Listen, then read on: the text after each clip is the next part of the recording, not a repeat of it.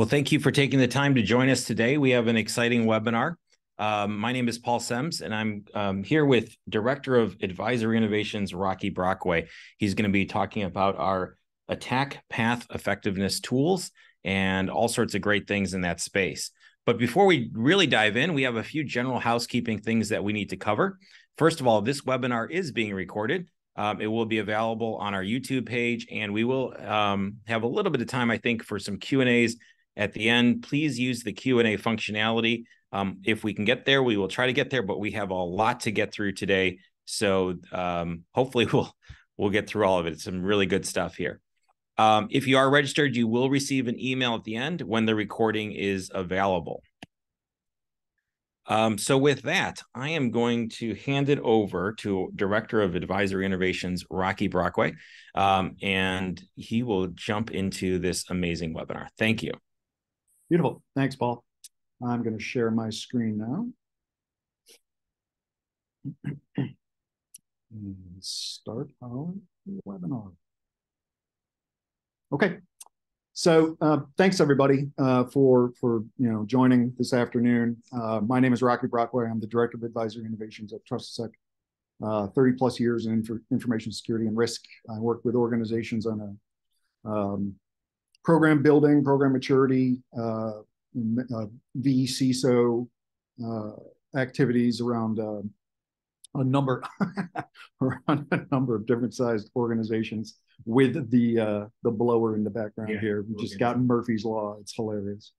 Um, okay, so uh, at a, a, very high level, right? Um, you know, our our VCISO services and program building services, um, you know, generally focus on program maturity activities, organizational effectiveness, right? Uh, and then also looking at business risk. Um, this particular webinar is going to be, you know, about the effectiveness aspect of uh, an organization's security program.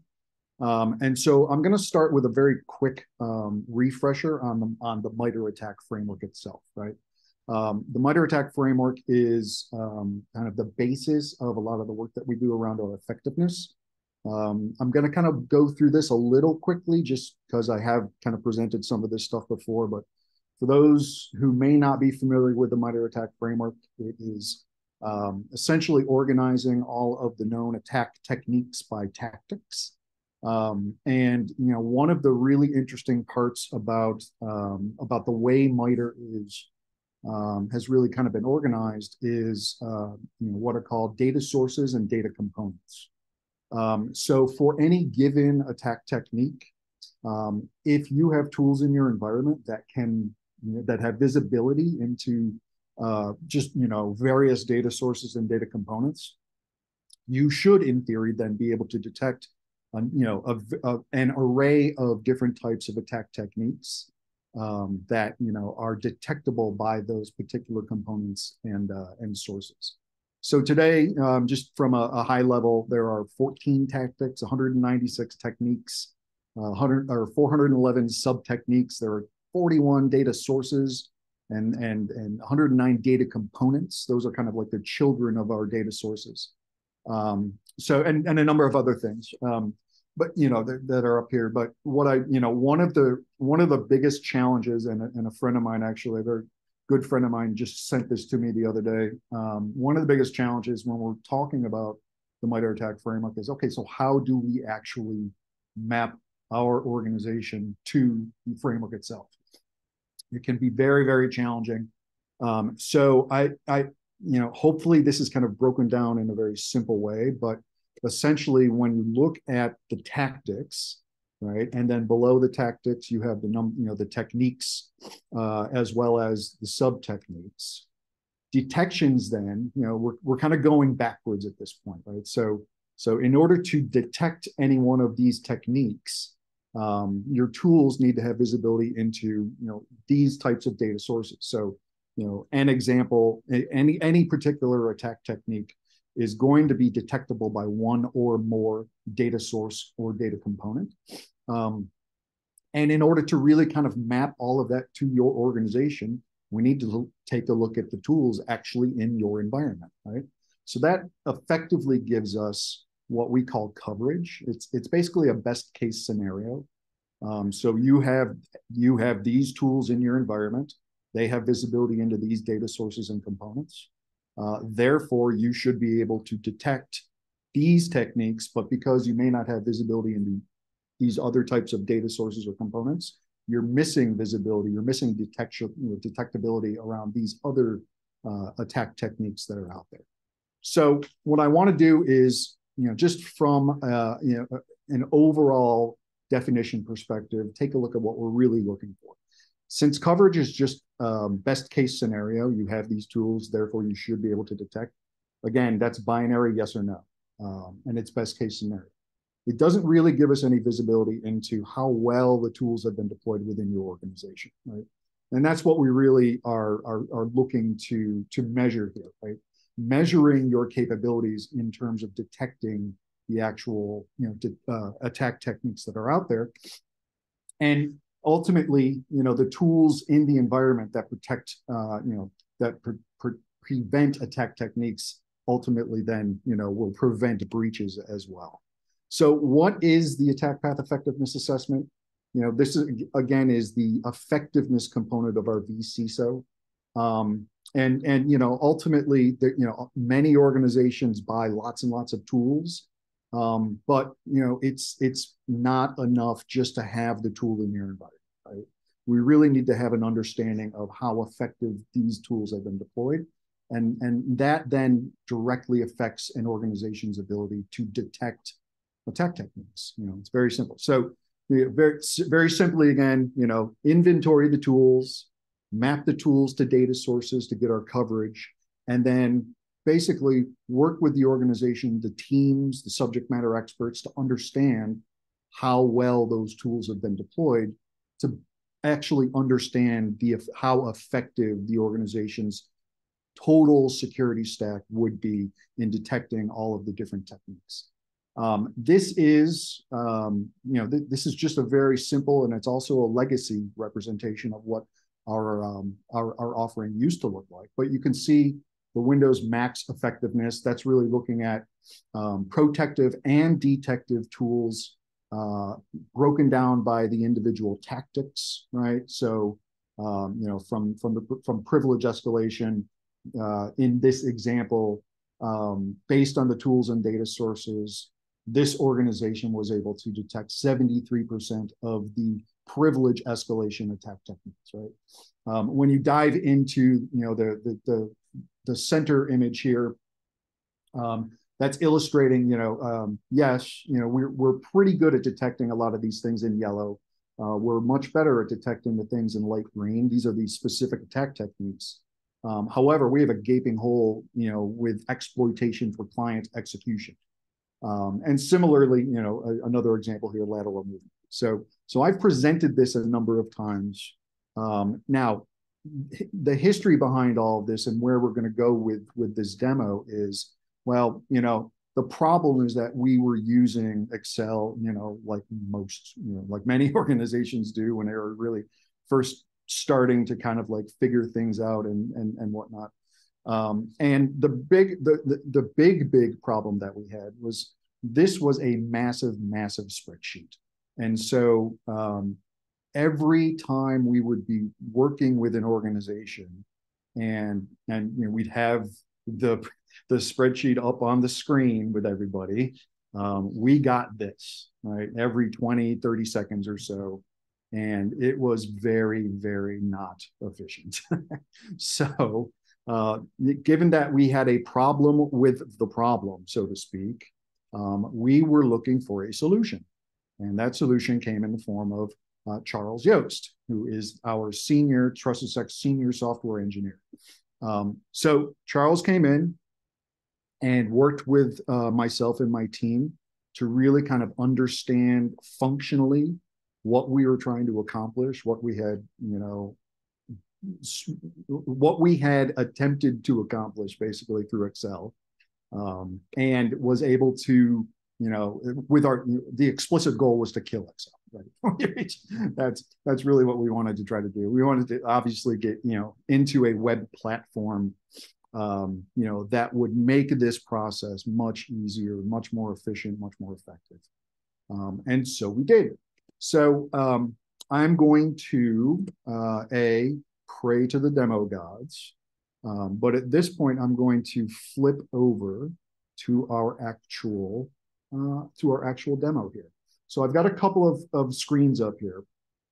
First and foremost, um, this is kind of the splash page for uh, for an individual client, right? And so underneath uh, underneath the client, then uh, we can create uh, we can create assessments, we can enter assessments, we can archive assessments. So I've built kind of a uh, just a, a, demo assessment here using this uh, using this corporation. I'm going to enter that assessment, and um, first and foremost, I want to just you know kind of the, the splash page here is just kind of giving you a high level understanding of the summary, right? So here's our here's how we're scoring things. Um, this will uh, this will be it's actually a feature request right now, but this will be customizable. Um, so we can kind of like depending on organizational risk thresholds and things of that nature, we can kind of sway the scoring, you know, left or right, so to speak. Um, uh, and and also it's important to note that today uh, this tool is specifically just for our TrustedSec consultants. Um, and I know that um, you know some of our clients who have gone through this process in the earlier days through Excel, uh, they've actually seen this and they were very excited to, to, ask if this would be client facing. Um, and that is not on the roadmap at this point. Uh, that is out of my control. Um, but it would be really interesting if we can get that get it to that point. Um, but here's some of our definitions, right? So um, from a coverage, for, these are basically our effectiveness variables. Um, I'm not going to walk through them all at this point, but we're looking at things like coverage, right? Coverage is, is this tool deployed everywhere that it should be, right? And and in addition, you know, are all of the features and functions enabled that should be in this particular environment? Uh, we look at things like update timeliness, how quickly can this, you know, these tools individually be patched? Rule creation timeliness, if there's new rules that can be added that need to be added to the tool, how quickly can that actually happen? Change control, does it follow the corporate change control things? You look at staff, right? Do you have people with enough experience uh, with this particular tool? Uh, and do you have enough of that, right? Um, so, so, you know, just to kind of, you know, very high level introduce just the concepts there. Now, it's very simply broken down. We have tools and we have aggregators. So aggregators meaning our SIEMs and, and things of that nature, just general log aggregators. We, we landed on that term um, to keep it a little bit more generic. Um, but from a tools perspective, um, I'm going to kind of you know walk into this kind of somewhat pre-populated um, you know assessment with these seven tools or so, right? Um, now, what we do have the option here is um, from if if I were to add a new tool to this particular assessment, I have a couple of options here. I can actually go to our tool library, which has been pre-populated with tools that are already mapped to MITRE data sources and data components. So I can then say, okay, well, I want to add, let's say, LAPS, you know, and, and, and pop that over into here. And now that's going to show up in our list. Um, I'm actually going to take that off at this point. But um, the other option, though, if I close this out, is to just manually add a new tool, right? So I just clicked on that. Now I can go in and edit this actual tool. Um, uh, let's say, what's a good tool? CrowdStrike Falcon. Um, no, we have no preferences. That was just off the top of my head. Sorry. but part of the part of the whole process here is okay well let's take a look at this particular tool. First and foremost is it a protective tool or is it a detective tool? Um, and for we're just for argument's sake we're going to say that CrowdStrike Falcon here is both protective and detective. Uh, and it's applicable just in our particular um, in our particular example to uh, to Windows and let's say Mac OS. Um, the next thing that we would do in the process is, okay, well, here are the actual data sources that um, that you know are coming from the MITRE ATT&CK framework. Uh, I can hover over any one of them. This was actually one of my when we first started using this tool right here. This the the, the hovering where then it just pops up. Okay, well, what is this? Um, surprisingly, that was incredibly valuable because a lot of these data components that are kind of children of the data sources here, it's not necessarily always, they're not necessarily always intuitive what they are, right? So I can kind of, let's say, you know, uh, uh, look at cluster metadata. Okay, well, what is cluster metadata? Um, okay, well, that's actually, you know, so from a process perspective, we work with the subject matter experts for each of these tools, kind of walk through this, and they can be like, well, I don't understand what's cluster metadata. Oh, it's this. And they can be like, oh, yeah. Well, then this tool actually does have visibility into that particular, um, you know, data source or data component. So I'll go ahead and say yes, you know, and, and click that there. So now it's green, right? Um, so from a process perspective, this is how we map each tool to the data sources and data components. And, and the result of this then is, um, is what's called coverage. And you know, I mentioned this before.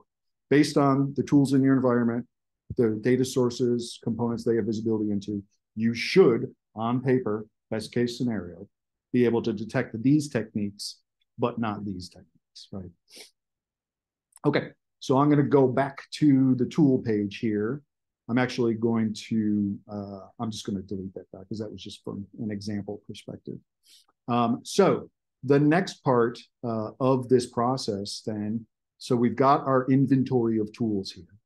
Uh, the next part is, okay, well, if there's an aggregator in the environment, and there likely is, um, let's add that aggregator. Cool. So in this example here, we've added Splunk, and we can add it. You know, here, again, it's very easy to just add another another aggregator here if you know if we need to. Uh, I was actually just on a recent engagement where the organization had four different SIEMs. So we, you know, and each each of those SIEMs were, um, you know, had varying levels of, you know, effectiveness, so to speak, right? There was a managed service provider, there was an internal, you know, SIEM and, and things of that nature. So we have the flexibility to kind of take all of this into consideration as well. Um, but the first thing that we need to do for the aggregator itself is understand, okay, well, what's how effective is the aggregator is the sim itself, right? And so, um, you know, because actually, when you when you look at individual tools, um, it's it, the, the the actual skill set of managing any one of these tools on the previous page was a completely different skill set from let's say, analyzing logs from multiple different sources and being able to correlate them into indicators of compromise, right? So we need to take into consideration how effective the SIEM side of the house is as well. So we walk through with the SOC team or the SIEM team and say, okay, you know, same kind of questions. How quickly can an update be applied to this particular platform, the SIEM platform? Does it have availability issues? Does it follow change control when changes need to be applied? do you have experienced people running this particular you know SIEM? uh, and do you have enough of them so so i've gone ahead and kind of pre-populated some of these and kind of change them you know at will or whatnot. Um, but then when we kind of walk back here and and look at each one of these individual tools i'll just pick on let's say palo alto firewall here. Um, i've gone and pre-populated a number of things for this particular tool as well. Uh, and I will actually, one of the tools on this list, I haven't populated yet, so I'll actually walk through what it actually looks like. Um, but you can see that, you know, this particular tool, Palo Alto Firewall is protective and detective, uh, applicable to these platforms over here. And uh, we break it down into both protective coverage and detective coverage. Now, for the most part, in most organizations, the scores are going to be the same. But there are kind of outlier organizations that have different teams that that actually manage different functions of a particular tool. So we wanted the flexibility to say, okay, well, team A, who's more on the detective side, you know, there here's their scores, but team B that's doing more of these other functions in this tool, they have different scores here, and they're gonna all of this is going to blend out in our final kind of uh, uh, actual organizational effectiveness uh, uh ratings here. Um, so the next part is, okay, well, this tool, if this tool is also um, sending its logs to an aggregator, um, let's make sure that that's linked up.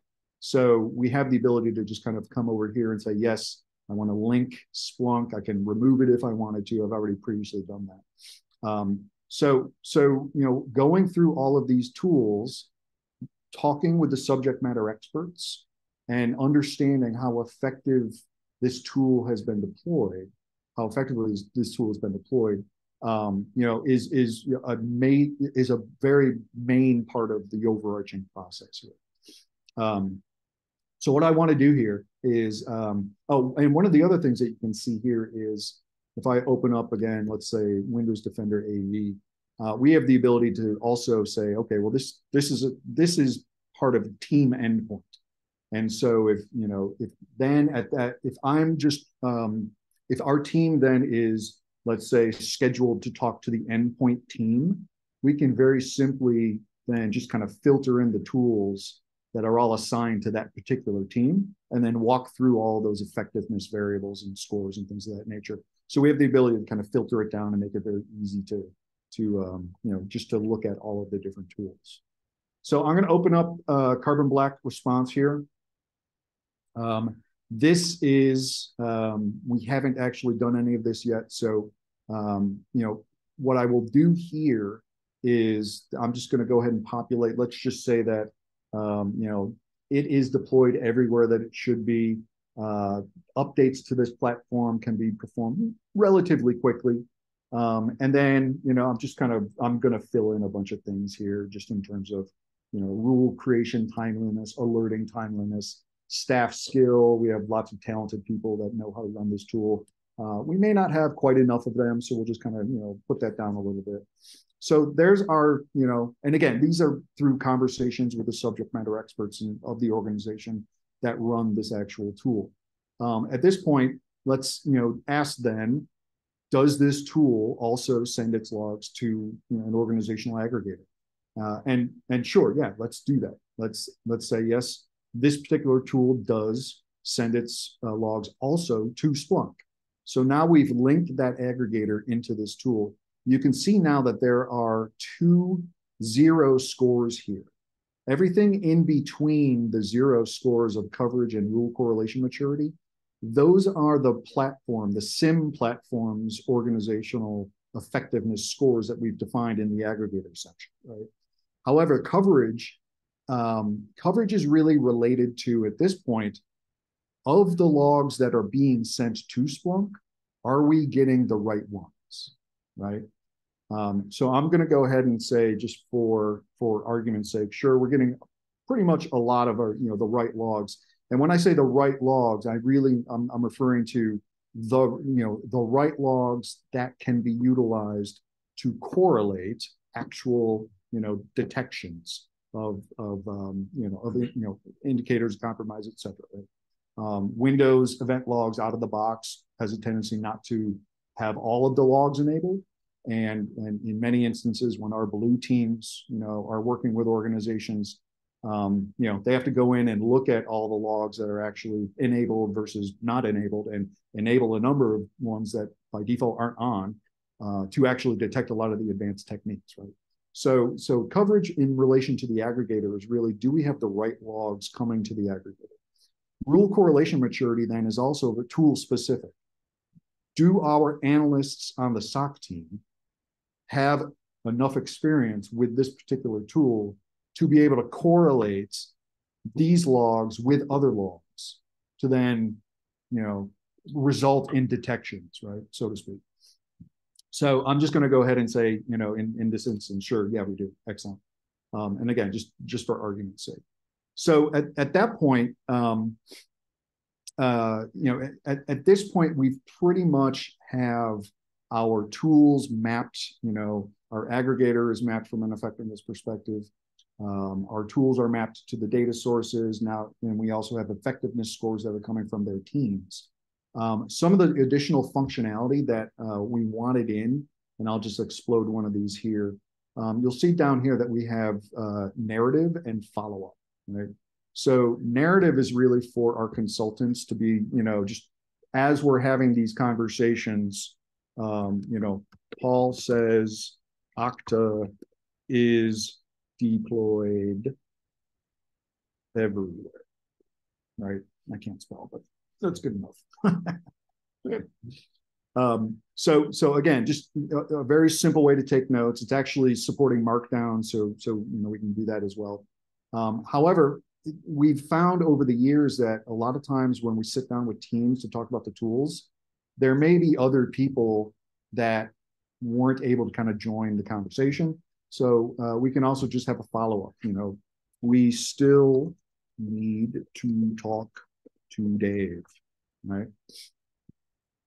And uh, once I actually hit that follow up, you'll see that um, up here, there's a little quote thing that none of the other tools have. So now we can, it's a very easy mechanism to kind of look at tools from a very high level and be like, oh, we have a follow up.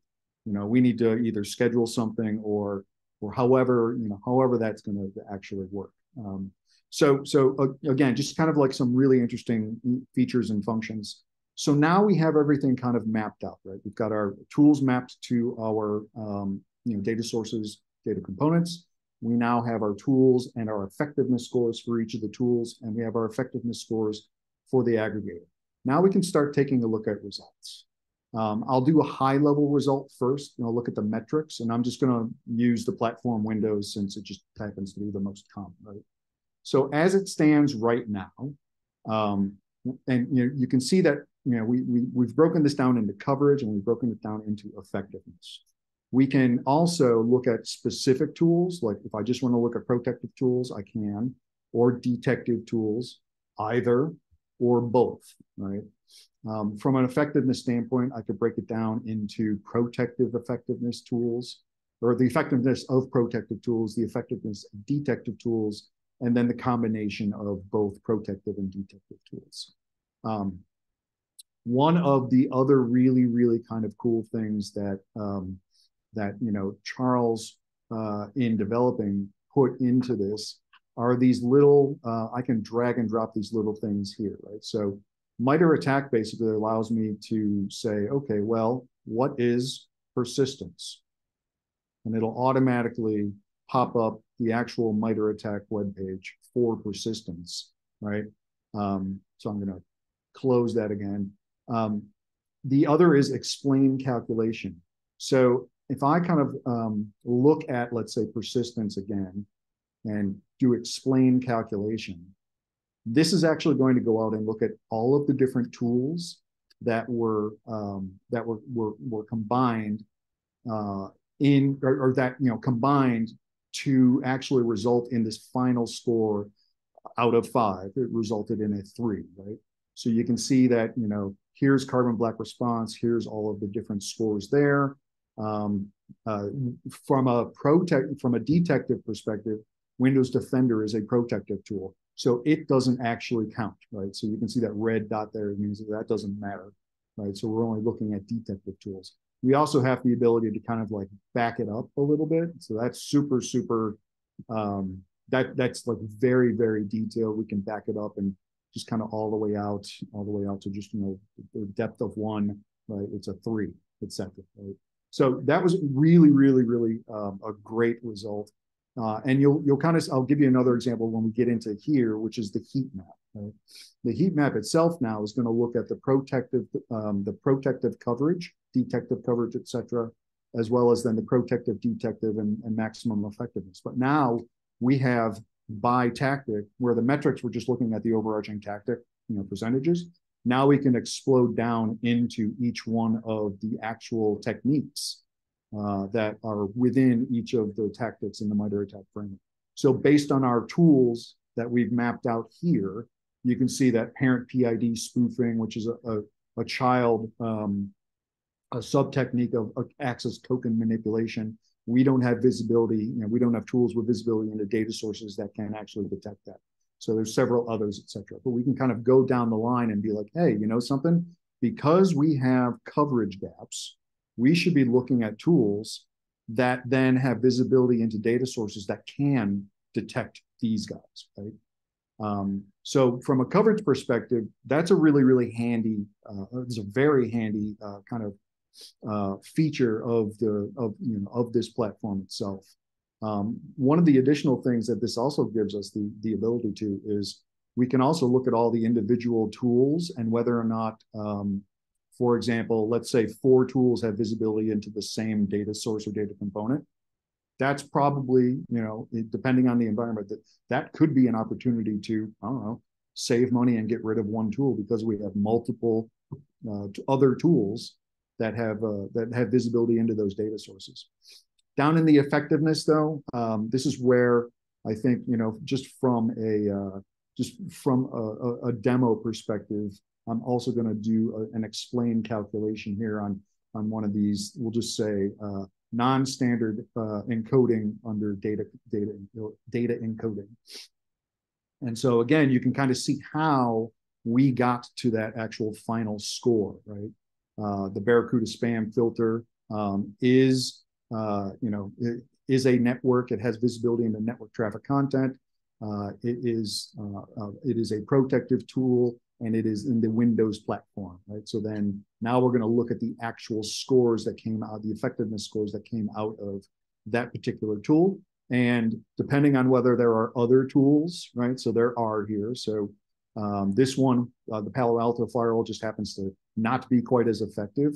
Um, so when we look at detections, though, the way we've kind of spun this logic is that okay, well, you have one tool that can detect it and it has a, a greater effectiveness score than another tool that could potentially detect the same thing. We're going to take the one, you know, we're going to take the one that's better because you know it that's it, it, essentially when you kind of balance it out um, you know, we can detect that better with this tool, right? So, so this is a really interesting, this is really good way to kind of look through your entire security tool stack and understand how these scores are then being kind of um, are, are, are, being uh, uh, generated and then you know with the results that we okay. So um, another thing that i want to just kind of point out so we're you know we're we're a consulting organization and we have lots and lots and lots of reports. Um, what we have also here is um, a whole set of artifacts that uh, we can generate that we can drop into all of our, uh, you know, the reports for our attack path effectiveness assessments. So I'm just going to give a couple of examples here, um, just from an effective, or let's see here, impact. Uh, most comprehensive tools is a, is a pretty good one. I'm just going to render that one real quick. This is going to take a look at the actual um, tools within the environment that we've already kind of you know looked at and say, okay, well, um, any tool with visibility into more data sources is probably going to be more effective overall than a tool that has visibility into less data sources.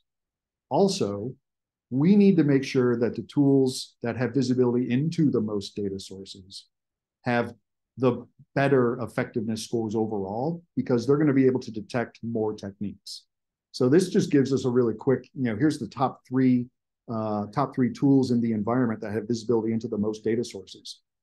We now can cross-check our scores, right? Because again, we want these particular tools that have visibility into more data sources to have higher effectiveness ratings, so we can detect more, you know, uh, actual techniques out there. Um, the last thing that I'll just kind of uh, show just around the um, around these, uh, uh, let's see, I'll take that off. I'll just uh, take a look at by platform, Windows, uh, metrics, and then we'll look at effectiveness and the maximum. So I'm just going to generate that. Um, one of the things that we asked Charles to also kind of build into this platform um, is the ability to uh, Let's see. Okay. So this table, right? This is the, the, the table of the, the maximum, uh, you know, protective and detective tools and how effective they are in this particular environment. You can see over here, hiding behind uh, my browser, is uh, it's it's one of our report templates. So I actually now can just say, okay, I'm just going to pop that guy in. And now I can just kind of format it however I want. Let's center it and you know take a look at size and position and whatnot. But it's a very very easy mechanism to then you know include all these different types of artifacts into our actual reports themselves. Um, okay, so um, that's that's a lot of the functionality that I wanted to kind of go through here. uh, what I am going to do now is start the slideshow back up and we can finish up. and then we can, you know, uh, just a couple of more slides and then we can see if there are any uh, questions that anybody has. Okay, so at the end of the day, um, you know, this is from a, you know, from a, an actual offering and solutions perspective, just to kind of recap this, um, utilizing the MITRE ATT&CK framework, measuring your capabilities is effectiveness, right? So, so I have this tool that should be able to detect these techniques, that's coverage, and then measuring the capabilities of detecting these techniques is effectiveness. One of the things that we also do that, um, you know, within these engagements is take a look at the threat intelligence around specific threat groups that target different industries, right? So if, if I'm working with a, an, an organization in the ma manufacturing sector, I can, you know, we, we've built some, some calculators that are ingesting a whole bunch of different threat intelligence. Um, and, and I can, you know, basically say, okay, I want to see all the threat groups that have been seen to target the manufacturing sector and look at then the actual attack techniques that they have been seen to use in the wild, right? Um, now we can overlay those techniques that an organization in the manufacturing sector is probably going to see at some point in the near future because these groups are using these techniques. We can overlay those techniques with how effectively the organization should be able to detect those techniques by going through this process. um, the last thing here, if I can get that to work, there we go, um, yeah, just you know some some some value prop you know value prop stuff here. Uh, again, measuring the effectiveness of all the expensive tools in in your environment, uh, being able to prioritize future investment based on you know let's say gaps in coverage. Right, we, we don't have any visibility into these data sources given the tools in our environment. Therefore, we're our our effectiveness is zero. Right. Um, so being able to prioritize future security investments um, but also, you know, one of the things that I'd like to, um, you know, also point out is that this is a really, really good kind of pairing up with, um, like, you know, purple team, blue teaming, things of that nature, because um, those engagements aren't actually testing every single attack technique on the planet. Right? They're really testing a subset of techniques, you know, that either our teams are, you know, have have said look, you know, we should test these, you know, based on your environment or, or, or what have you. Um, so I also, you know, I, I've, I've kind of um, made the comparison that this attack path effectiveness assessment is also kind of kind of a, a, pairing like a vulnerability assessment is to a penetration test, where a penetration test is isn't testing every single exploitable vulnerability. It's testing a certain path or one or more paths.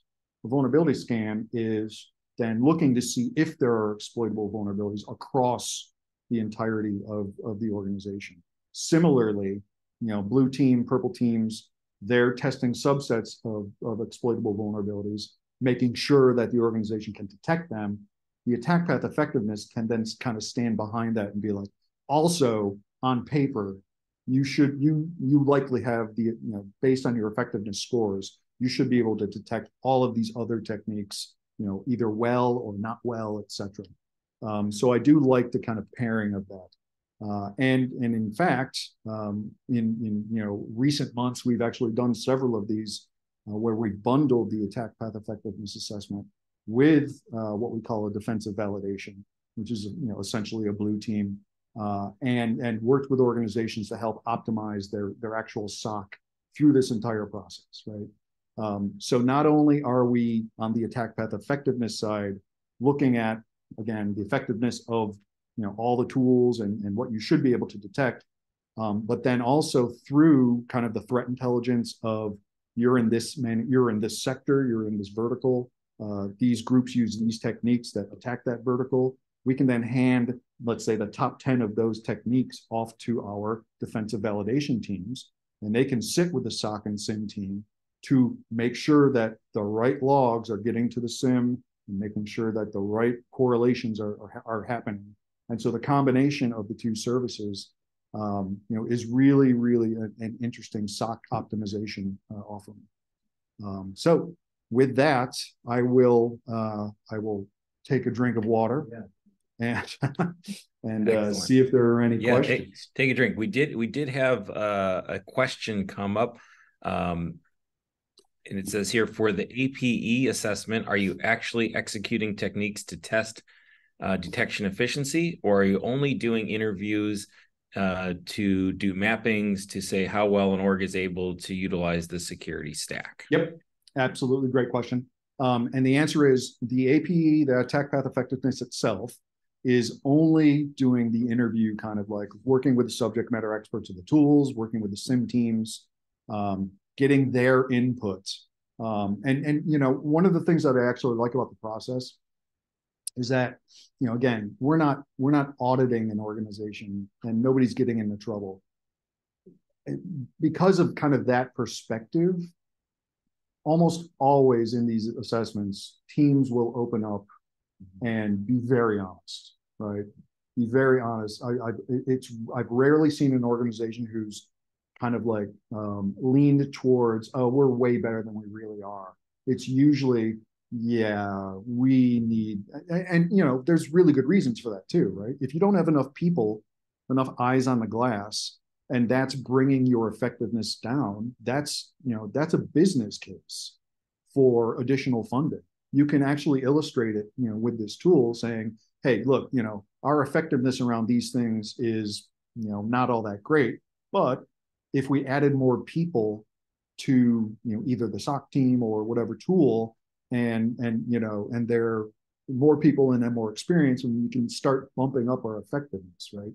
So so so you know on the just the specific attack path effectiveness side it's just interviews. That's why we like to pair it with the defensive validation because that will actually test a subset of I, I wouldn't say just because those getting the, those conversations and the people that they make the big difference in a in an organization's security. The tools are good, processes are good, but having the people there is definitely uh, yeah. essential. Yeah, Another question came up, and you did answer this a little bit earlier, but can you clarify?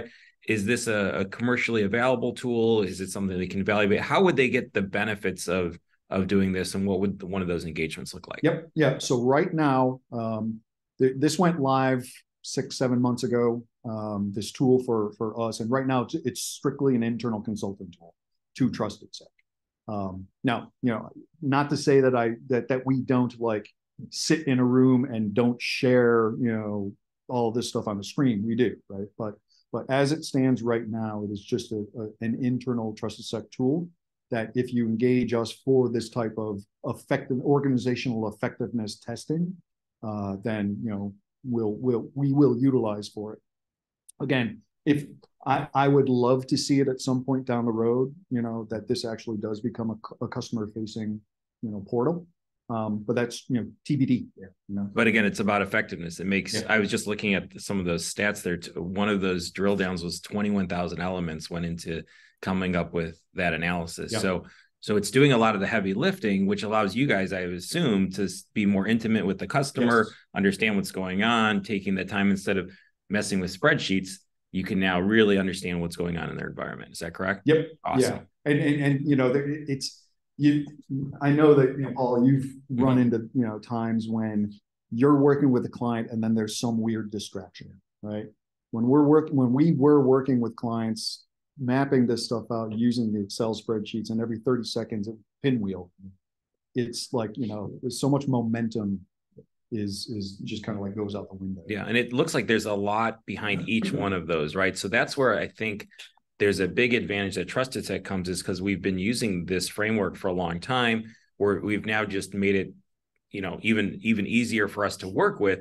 But that depth of understanding behind it is is pretty amazing. I mean, you you those uh, points there are all have uh, subject matter experts that went into the evaluation of it. So that's really, really, really impressive. Yep. Yep. Excellent. Um, let's see. I'll open it up for a few more seconds. If there's any other questions, oh, we did get one right here. So um, that's a long one. Give me a second. We're gonna have to take a look here. Um, do you are you able to pull up the Q and A? I can. Yeah. Just because I'm gonna have him read it because it's a, a, long one instead of me rereading it. Yep. Yep. So actually, that there it is. Okay. Uh, what kind of tooling do you use for defensive validation testing? Uh, opinion on automated, semi-automated tools in the market. Uh, so I'll, I'll, I'll, I'll start answering these, right? Um, the tooling for defensive validation is our consultants, right? Um, what typically happens in a defensive validation, and, and, and you know, I, I'm, I'm, I hope I don't make the defensive you know, teams uh, upset in any way by by misquoting anything, but um, at, you know, realistically, uh, typically what happens in a defensive validation is our blue team or, or however we want to want to call it um, works with hand, you know, side by side with the organization, gets access into their SIEM, right? And starts looking at, you know, let's say these top 10 attack techniques, looking at the log ingestion. Are they getting the right logs to actually be able to detect that? So, so it's today, you know, that functionality is purely, I hope I'm not wrong here, but you know, is is is almost 100% as far as I can tell. You know, the our consultants working in those client environments to to you know, make those detections. Um, and then opinion on I I don't personally have an opinion on the automated semi-automated tools at this point. Um, okay, yeah, I think that's okay. We answered that one, and then um, one so um, let's. I I, am gonna have some some other questions here real quick. So tell me a little bit about like, um, you know, in in an organization's maturity, what kind of organizations should be looking at using this type of engagement? So someone that's just starting off, or someone that's more mature. What, what type of uh, client would would really get a lot of benefit out of these engagements? The the value for an attack path effectiveness engagement is is is going to be less for for less mature organizations, right? So you know, part of part of the you know the, part of this complicated equation is um, you know not not all organizations have their own SIEM, right? So that's certainly an aspect that you know if, if you're not even at that point, then it's probably not you know it's probably not worth it yet to actually go through and and, and go through this uh, this engagement. Um, I would say that you know a, a, a mid-mature organization that has you know let's say a small security team, you know, small mm-hmm. SOC or SIEM, um, you know, that's probably the, the the good starting point. And then from there, you know, we've done these assessments for very large organizations.